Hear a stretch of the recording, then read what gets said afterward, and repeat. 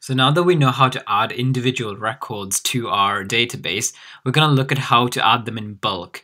And what we can do is we can use an array of like objects like this which have all these fields that the people schema has filled in like this and we can convert this and use this to create a lot of models and write them to the database so the way um, we do this is firstly, let's look at what's being tested here. So the the um, create many people thing right here is uses the create many people function. So we have to fill in this function for this to work.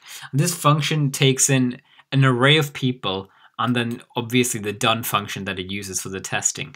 And what we can do first is define array of people. And for this, you just need an array of objects that have the um, properties of the people schema that we created. So we have um, name, age, and favorite foods. So I have um, three objects here with different names, ages, and favorite foods.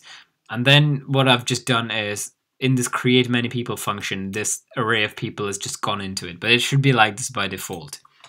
Then the way you do create records with this is you do something, you do call a function called create on the model. And the model in our case is the person model that we created here. So we do person dot create like this. And inside of this, the first argument we give it is the array that we want to use. And again, the array has to be a set of objects like this of the correct schema types. So I'm just going to give it the array of people that we took in here. The second um, argument is a function that takes in, once again, it takes in an error and it takes in data. And in the last video, I kind of failed to specify what this data is. So this data is when it's been successfully written to the database, it returns this data that we can actually access easily. So in this case, what it will create is an array of people objects. So we can just call this data something like created peoples, created people or something like that. So this is the people that have been created. And then this is a function again. So we have a function. So this will try and create these models and save it to the database. And then it'll run this function that takes in an error and the created people if they were created. And if there was an error, um, once again, we want to make sure we just log that error. Add L, and then we'll put an else here so that this only runs if there's not an error. So this is null. Um, and we have this created people here. We want to call this done function to do the test, to allow to do the test.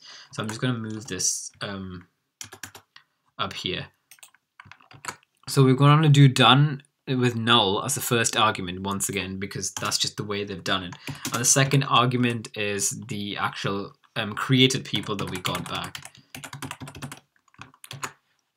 So once again, what we've done is we've called person.create, which takes in this array of objects that have properties for the schema, and it converts each of these into a person, like we did um, up here, like we did here.